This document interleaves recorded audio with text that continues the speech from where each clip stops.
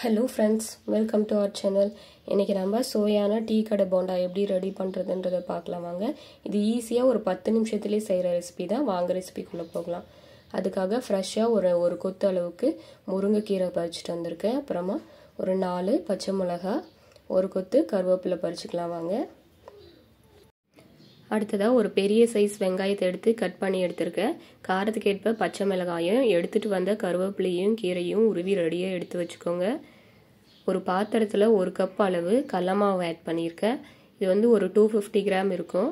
அடுத்ததாக நம்ம கட் பண்ணி எடுத்து வச்சுருக்க வெங்காயம் கீரை அப்புறம் க கருவேப்பிலை பச்சை மிளகாயெல்லாம் ஆட் பண்ணிக்கலாம் இதில். ஒரு ஒரு பிஞ்ச் அளவு பெருங்காயத்தூள் ஆட் பண்ணிக்கோங்க. ஒரு கால் டீஸ்பூன் அளவு பேக்கிங் சோடா ஆட் பண்ணிக்கலாம்.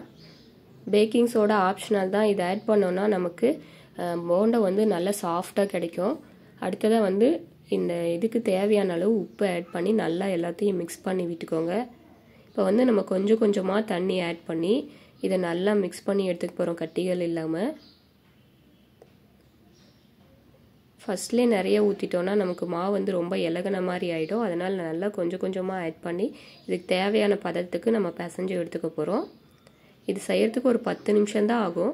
குழந்தைங்க கேட்ட உடனே கூட நம்ம ஒரு பத்து நிமிஷத்தில் டீ டைம் ஸ்நாக்காக ரெடி பண்ணி கொடுத்துடலாம்.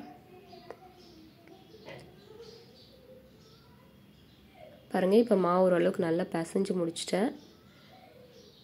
இன்னும் கொஞ்சமாக தண்ணி ஆட் பண்ணிக்கலாம். ரொம்ப கெட்டியாக இருக்குது